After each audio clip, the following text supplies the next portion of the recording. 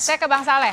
Bang Saleh, kalau PKS dari awal menolak karena merasa uh, Perpu Cipta Kerja yang kemudian jadi Undang-Undang Cipta Kerja ini tidak pro terhadap para tenaga kerja Indonesia, apa yang kemudian dilihat oleh fraksi PAN? Ya pertama ya gini, perlu dijelaskan juga ke publik bahwa proses pembahasan Undang-Undang Cipta Kerja yang awal dulu dengan yang Perpu ini berbeda. Oke. Okay. Kalau yang awal dulu itu jelas bahwa fraksi PAN itu membuat 10 catatan penting. Ketika kita ingin mensahkan ya pada waktu itu terkait dengan undang-undang cipta kerja itu.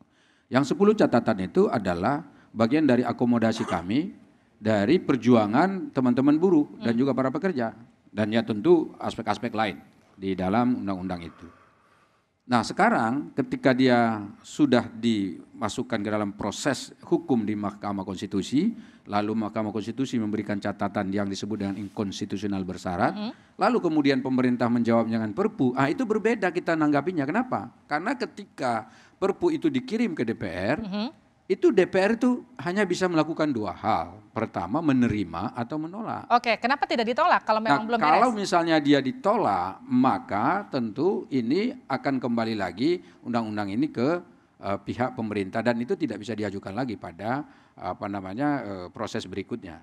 Nah, sekarang pertanyaannya adalah yang mungkin ditanyakan yang paling banyak diperdebatkan di balik ya mm -hmm. ketika uh, proses uh, pembahasan terhadap Perpu ini yang paling banyak ditanya adalah soal kegentingan yang memaksa. Nah itu yang kemudian jadi Karena di dalam undang-undang hmm. ada disebut itu bahwa pemerintah hanya dan hanya bisa jika ada kegentingan yang memaksa. Perpu itu baru bisa Oke, sebentar saya potong. Jadi gini, kalau tadi Bang Hinca eh, di DPR kita sama-sama melihat bahwa menyatakan tidak ada kegentingan yang memaksa dari fraksi Demokrat. Tapi kemudian tadi kita juga lihat Menko Erlangga menyatakan ada kegentingan. Nah, jadi genting atau enggak sebetulnya? Jadi sebetulnya kan ini muncul jadi tafsir. Hmm. Ini akan muncul tafsir hukum di situ. Ini ada beda pendapat.